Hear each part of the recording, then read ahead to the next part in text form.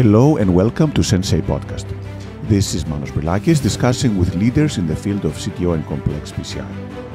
Sensei means teacher or master in Japanese. The goal of the Sensei podcast is to help you learn and improve in CTO and complex PCI so that you can become the best that you can be and offer your patients the best possible results.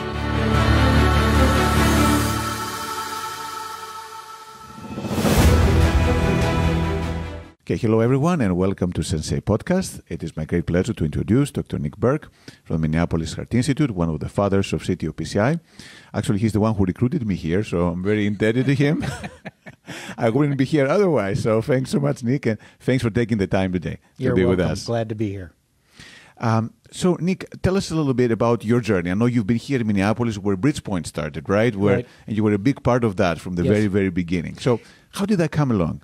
Well, you know, it was uh, I did actually some of the first animal work uh, with with Bridgepoint, which was later acquired by Boston Scientific. So the the Crossboss and the Stingray and and whatnot. So I had that opportunity because they um, the owner of the company, the president of the company, heard that I had an interest in CTO PCI, and I had had an interest in this for quite a while. I saw it as just a large unmet need.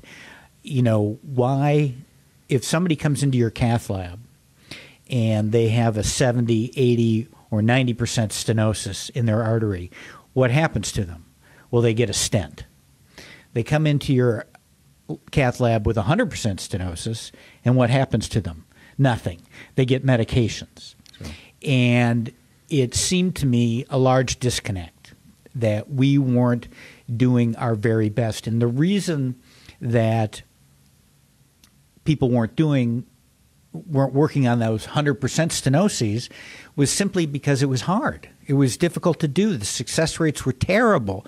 And our restenosis rates, of course, were quite high. So the original CTO, you know, work was pre DES era, and the the results were were really bad. Well, once drug eluting stents came out, it became clear to me that there was a way to keep these arteries open if we could open them. So I got involved with a lot of the original research on a variety of different technologies and techniques. Uh, and uh, all of which were abysmal failures. Include, you know, there were drills and lasers and and uh, all sorts of things that that just didn't work, and uh, we couldn't seem to to really uh, budge that needle. Well, uh, at that same time, uh, it was clear that the Japanese operators had developed some wire based techniques, uh, particularly the retrograde techniques that were uh, absolutely jaw dropping. And I heard about this and got involved with it very early. Um, I was not uh, by any means the, the the, fir- uh, the first operator in the U.S. to be doing this. That distinction went to two of our co- close friends, Craig Thompson and Bill Lombardi. Um, but I went to Japan and to their CTO summits and saw these amazing techniques that, and good results that these guys could get uh, safely um, with wired based techniques. That coupled with the new Stingray and Crossboss at the time uh, techniques for antegrade dissection reentry um, really made me realize that we had a game changer here. And so then we had a couple of different new ways to attack CTOs that we hadn't in the past. And that increased our success rates while keeping our complication rates low, um, low enough to allow us to continue to, to do this for people. So that was sort of my uh, initial journey. And obviously, um, I got to be part of some of the initial uh, work. Um, obviously with Stingray as it then became uh, published with Fast CTO and things like that, and then uh, the initial conferences that we had of the C- kind of that handful of CTO operators from the U.S. that got together that uh, came up with basically the U.S. based algorithm of which Manos, uh, you were of course the uh, first author when that was published. Um, well, the brains were the other people, but it's good. but I'm no, but so you're sure right. You were from the very beginning. But you know how how did people receive this? Because I assume people were not super excited to have this. They weren't, and um, it was a struggle. Absolutely, uh, you know the the patients loved it, and the referring docs loved it too, because you made their patients feel better. Um, the other cardiologists were not so sure. And yeah, there is a little higher rate of complication with CTO PCI. There's no doubt about it. You're trying to uh, do something, you're trying to get through an artery that's closed and has been closed for some time. And so there, there is a, uh, a higher uh, complication rate than there is in standard PCI. And that uh, took a little convincing um, uh, of the other cardiologists to say, you know, in the appropriately selected patient, this is an appropriate thing to do. And it took a while, quite a while, before we really received a critical mass, I think, of CTO operators before that needle swung. And I, I think now um, the average cardiologist realizes that there's really a place for this. Not that every operator needs to be a CTO operator. Um, that requires a very dedicated uh, uh, skill set. I think any good operator can become a CTO PCI operator, but it requires a real commitment to do that. Um, so it's really been uh, an evolution. And what made you want to go through this? Because it was failures, right? It was difficult, long cases. The cath lab, I'm sure, did not love you doing these long cases. so how do you push through that and convince the people to come along with you? Um, you know, it was really that I saw this unmet need that there are patients out there. Yeah, there there are patients who have an occluded right coronary artery who are asymptomatic. Well, um, you know, those people do well with medical therapy, but there are uh, a significant number of people whose li- whose lives are really limited, or can't take, or can't stand, or intolerant to uh, beta blockade and long acting nitrates and things like that, whose lifestyle, particularly in the younger people, uh, is really altered significantly because of this. And I saw that there was, like I said, an unmet need for this appropriately selected patient population. And I knew that um, with time and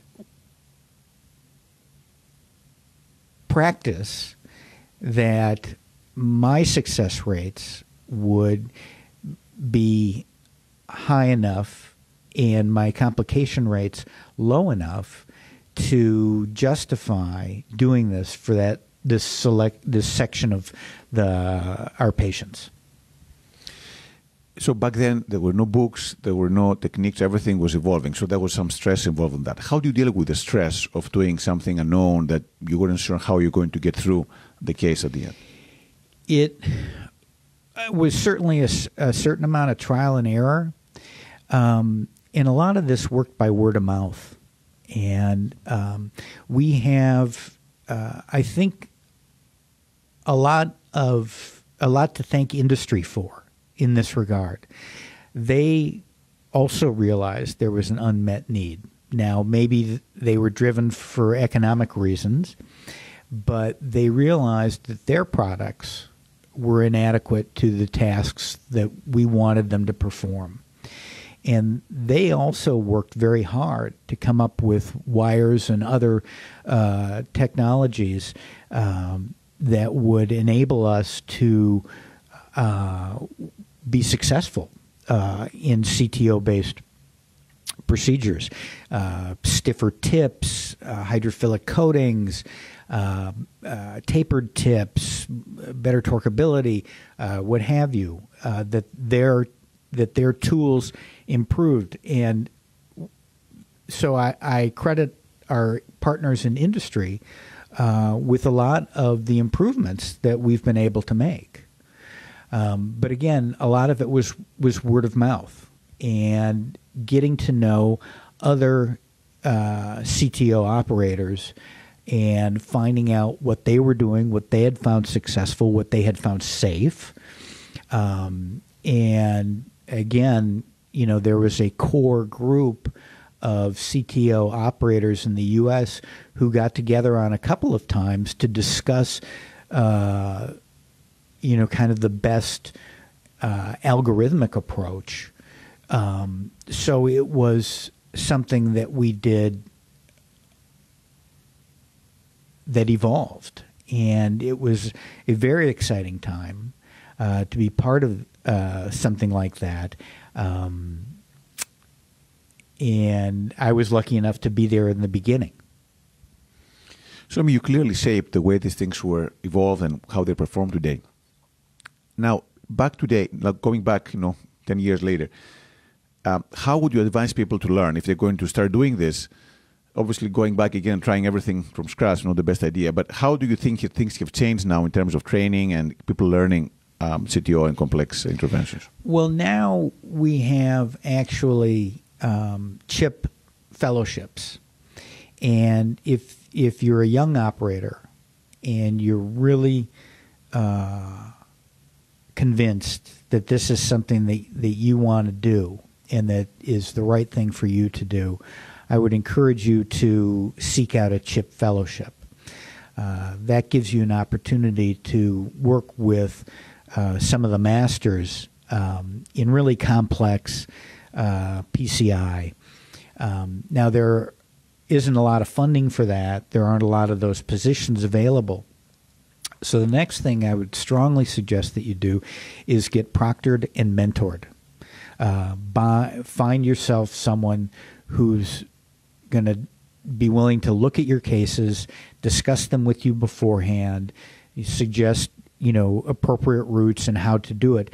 And there's now uh, a wealth of uh, printed material available. Um, Manos is uh, the author. Um, of a handbook on CTO PCI, which I strongly recommend uh, for the initial for your initial uh, foray into this, so that you're you're learning based on what others who have gone before you have determined to be the safest and most effective uh, ways.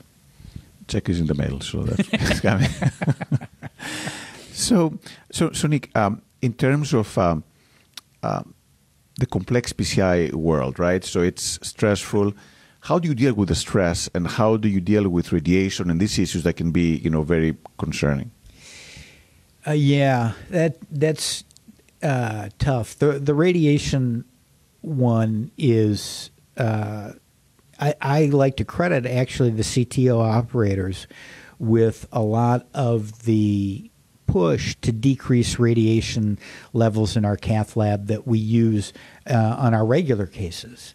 And again, industry has stepped up as well uh, from the the um, you know the providers of the radiation, the X-ray machines uh, have gotten you know better machines that have were able to use uh, less radiation, decreasing our frame rates, you know, shielding and, and that sort of thing. Um, uh, I think that that's made a huge impact. You learn how not to stay on the pedal uh, nearly as much, uh, taking only cines uh, when it's important uh, to actually have a cine, fluorostore, um, is a very important modality that I think is underused uh, in the cath lab by a lot of people, where you want to document something, but you don't necessarily have to take a full cine to do that. If you've just watched and, and looked with a uh, a puff for the angiogram or watching the wire advance or what have you. In terms of the stress, um, I for a long time. Um, I don't know. I, I, I think it's you know for some of us it's it's a younger person's game. Um, it uh, it didn't seem to bother me nearly as much as it does now. um, it uh, I had really good uh, avenues outside of work uh, for dealing with that. I was a quasi competitive cyclist. Um, I wasn't very fast, but I enjoyed it. And uh, I spent a lot of time uh, on my bicycle and uh, having outside interests, I think, and ways of uh, kind of burning off that excess energy and stress, I think is key. Uh, obviously, for me, you know, my family was a big source for that as well. Four kids and a busy family and and whatnot, um, you know, made a big difference there.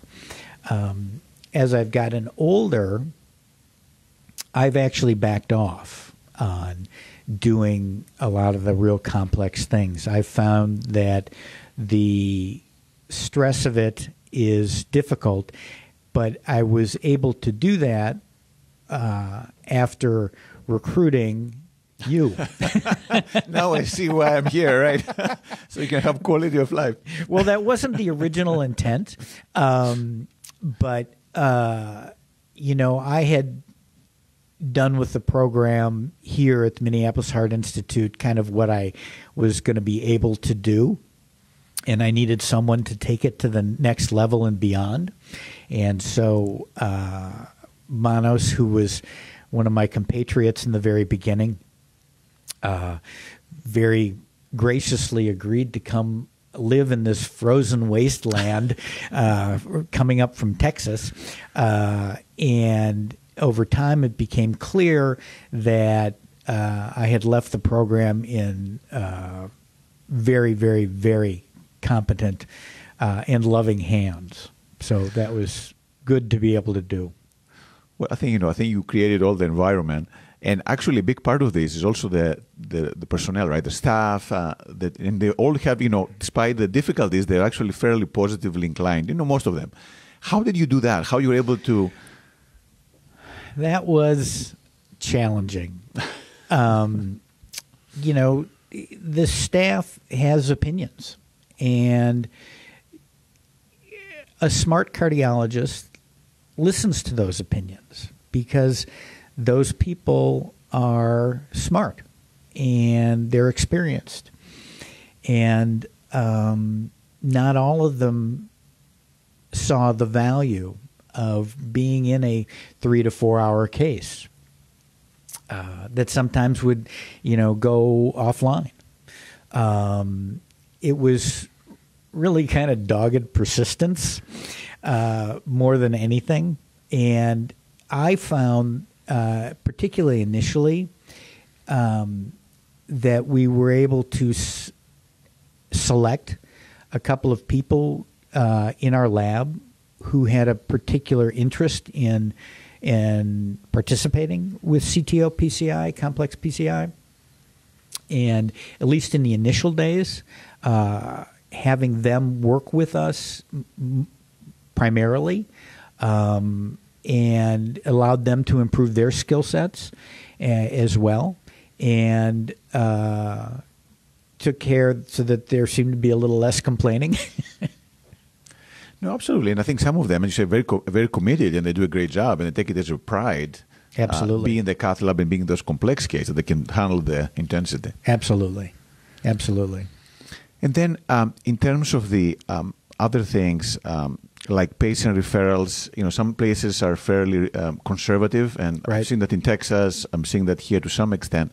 How do you deal with that? So, building a program requires having a referral source, right? And I've done a phenomenal job. People around the states, uh, in the neighboring states, are sending you patients, and they'll be very confident. How did you nurture these relationships? Um, initially, a lot of that came out of proctoring. Um, doctors who said, you know, I think I want to try starting to do, you know, CTO PCI, and uh, I would get involved with their program. And I think a good number of them sort of decided uh, over time, well, maybe this isn't for me, but they still saw the value. So, serving as a mentor actually uh, makes a difference and improves those referral patterns. And then getting out and giving talks, obviously, uh, about the uh, about CTO PCI, about complex PCI, uh, was very helpful. Um, and you know, working with our partners in industry was also helpful. They were a good source, and once they realized that I was a uh, committed CTO uh, operator here, they actually spread the word uh, for me, uh, and that was very helpful. So I was appreciative uh, of that. Actually, I must say, when I, people are calling me, which physician should you go? The best source is right industry because they're there all the time. They see the case, so they know exactly who is doing what, and they're very competent on that. Um, now, coming back on, on a personal level, um, obviously you've done a lot of work and you have ways to deal with the stresses that come with it. Uh, what uh, um, keeps you going? Like, is it uh, the intensity of the procedure? Now you said you're in a stage where you're trying to back out, and actually, I must admit, you are one of the few people who wants to, to stop. Most people I've talked to, they say they want to stop, but they're not sure when. Which I think it's a maturity level, right? People who want to, you know, retire their kind of top of their game versus you know become 85 and then things Right. don't go well. So. And you, I think, a phenomenal from people I know. Done the best job on this, being able to assess, you know, what are your needs and what are your desires. How, how did that, how did that process go? Well, you know, as I alluded to earlier, I was lucky in that I had, um, you know, in that you had joined our practice, and I knew that that need was being met. You know, in in a program that I had developed, so I I felt that you know, kind of what I had started uh, was going to continue and flourish, which is which was important. I think that that had that not been the case, um, I might have felt very differently about stepping back. Uh, I think everybody's a little different uh, in terms of how they decide when to uh, stop practicing, for example. Um, I've decided that I'm the kind of person that um, probably isn't going to practice into his 70s. Um, I have a lot of outside interests that I enjoy and uh, want to be able to enjoy those. Um, part of it too was on a on a personal level. Uh, my father um, died uh, of a form of Parkinson's disease uh, at 79, and his last years of his life uh, were not that great, and I started to think, well, what if that happens to me? What if something like that happens to me? I want to. There are things that I want to be able to have done, uh, and family that I want to enjoy. Uh, I'm a new grandfather now, as of Congratulations. as of two weeks ago. Thank you, uh, and that's obviously changed things a great deal as well. Uh, so it's it's very much an an individual thing. I think it's imperative that you look critically at the work that you do, and if because our skills do start to atrophy at some point. You just don't see as well. Your feel and your touch changes a little bit, and that's and that's going to be different for everybody. Um, and you need to very critically continue to follow your results. Am I being successful? Uh, am I is my complication rate acceptable? Um, and assuming that that is still the case, if you do that honestly, um, and I think that's one of the the best lessons that that we learn in CTO PCI was really really critical self appraisal and being honest in your self assessment.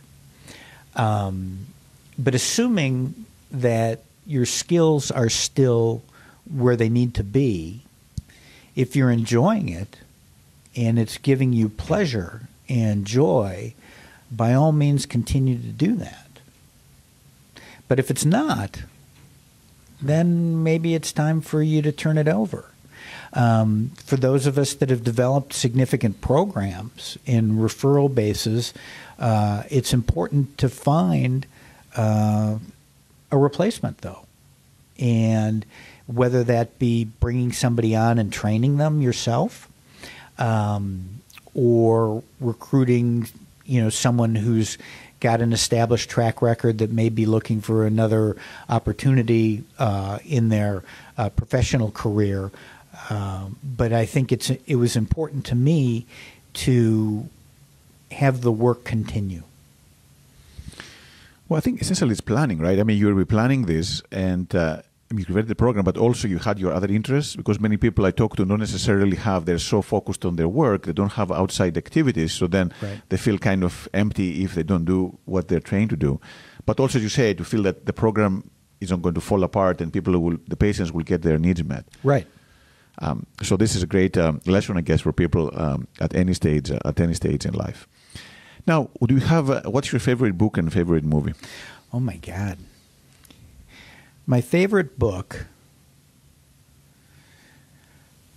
um, was probably Anna Karenina or Pillars of the Earth. I found that to be pretty uh, wonderful by Ken Follett. Anna Karenina, obviously, by Leo Tolstoy.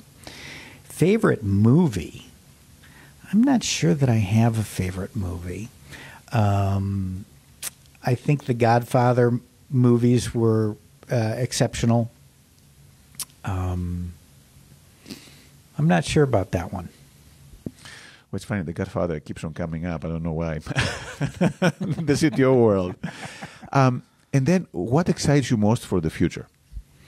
For the future, it's my family, definitely. Um, and I think, in terms of the future of what we do as interventional cardiologists, um, I think uh, it's apparent that we're able to do more and to do it safer than we ever have with uh, ventricular assist devices. Our stents keep getting better. Um, they're more obviously more deliverable, and the restenosis rates continue to fall. Um, and I think we'll even get even lower as we get even smaller stent struts. And um, so I, I think that our ability to really help people will continue to evolve. And I think that that's very exciting. And then, what are you most proud of from the many things you've done, personally or professionally? Wow. Well, I'm most proud of my four kids and uh, the fact that they're all sitting up and taking nourishment, and they all pay taxes, and uh, so I'm very I'm I'm proud of that, uh, and they're for the most part uh, independent. Um, I'm I'm proud of the complex PCI program here at the Minneapolis Heart Institute. Obviously, that I helped start. I, I wasn't the only one doing complex work here by any means. Um, I have uh, very skilled partners um, who uh, can do uh, wonderful uh, work on people. I was just the only real CTO PCI uh, operator, um, but to develop that program and to recruit uh, people like yourself and young operators like Yader Sandoval, uh, who uh, has just joined us recently. I'm proud to leave what I had labored for so long on. I'm proud to leave that in extraordinarily competent hands. No pressure. Should be careful, I guess. But no, but, but you know, you you create a phenomenal program, and as you know, things are evolving. But I think the the bases are very strong, and that helps down the future. So, if you had to give some advice after all the years of work you've done and met, meeting so many people, doing so many cases, to the person, people who are starting now, you know, finishing fellowship or early in their CTO learning curve, what do you think the key things for success for them? The key things for success is, um, you know, get buy-in from your partners, uh, sit down with them, and say, I think this is an unmet need. I think this is something that, that we should do uh, as as a group uh, that uh, I that I'd like to lead this or to do this, and then get a mentor or mentors. Uh, it can be certainly more than one. Go to the CTO meetings, sit in on the complex uh, sections at SCAI and ACC and the like, um, and that's where you where you're going to meet these people. Uh, go to Bill Lombardi's complication course because you will see complications, and it's imperative that you know how to handle them. Um, and uh, but get supported. Perfect. Well, Nick, again, thanks for being with us today. Thanks for getting me here in the first place. and we'll try to keep up with everything you've created. Thank you so much. You're welcome. Thank you very much.